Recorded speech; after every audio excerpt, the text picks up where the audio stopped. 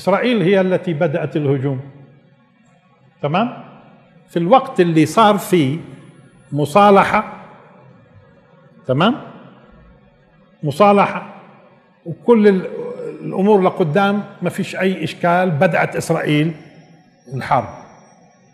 الآن إيش يعملوا يعني أهل غزة؟ لما بد... لما الحرب مور إيش يعملوا؟ يدافعوا عن حالهم. مش هيك؟ يعني هذا بسموه جهاد الدفاع. وهذا يعني من بداهيات الحقوق.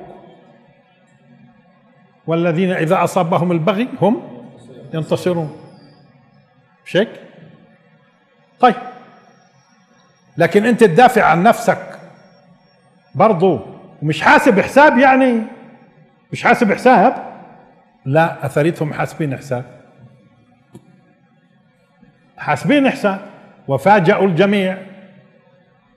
فاجأوا الجميع باستعداداتهم للمسألة. مش هيك؟ واستعداداتهم للاحتمالات كاينين حاسبينها. أما والله حرب بدون آه، قتل وتدمير وين صارت هاي؟ عبر أي تاريخ يعني؟ وين كيف يعني حرب؟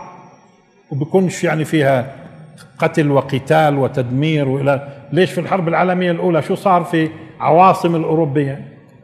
ضل حجر على حجر؟ ومع ذلك في بشر الآن بيتكلموا وكأنهم بنتموش للبشر لا بنتموا للتاريخ ولا للحاضر.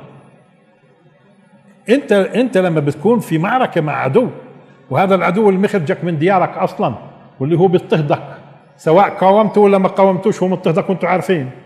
قاومته ولا ما قاومتوش هو مضطهدك أصلا. ودائما خططه ضدك. إيش تعمل يعني؟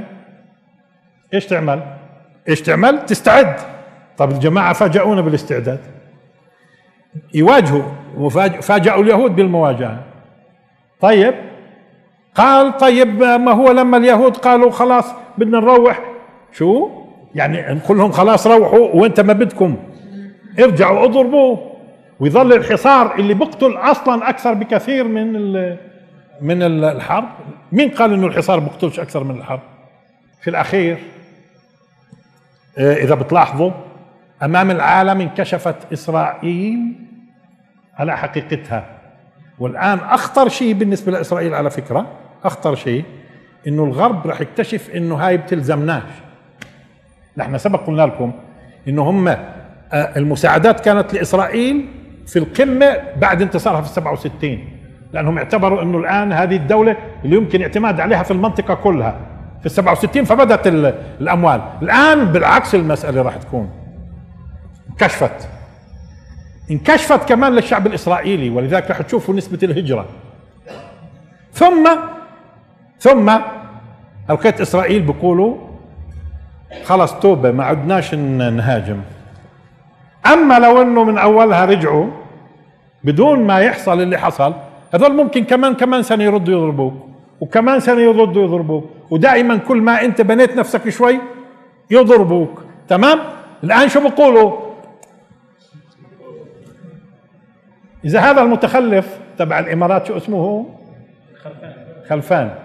هذا المتخلف في في حوارات سرية له بقول اليهود قالوها بمعنى قالوها خلص التوبه التوبه التوبة. هذا في السري. بس طبعا هم في العلن شيء ثاني ها؟ طبعا ما هم على اتصال باليهود تمام من اولها مش قضية يعني. آه واضح. ثم انكشفت كثير من القضايا.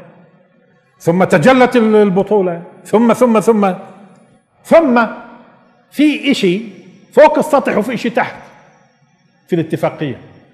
مثلا كان من ضمن الشروط إطلاق المساجين. اللي أخذوهم بعد قصة إيش؟ الآن في الاتفاق مش موجود بس أنا عم بشوف إنهم عم بيطلقوهم قاعدين. أنا عم بشوف إنه كل يوم والثاني بزرقوا واحد اثنين ثلاثة أربعة من اللي أخذوهم. شو يعني؟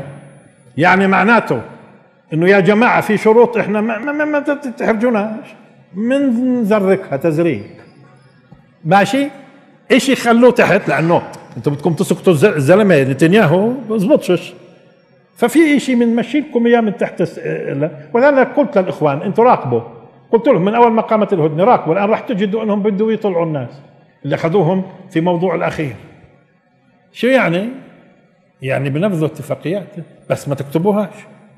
بس ما تكتبوهاش. اذا الإشي والإشي اللي حصل خارق وفيه عزة وهو نقطة تحول راح تكون. نقطة تحول. طيب في مرجفين في في منافقين في أيام الرسول كانوا؟ كانوا. في عصر في عصر خير العصور كان موجود في خير في خير العصور كان موجود. بدوش يكون في في عصرنا.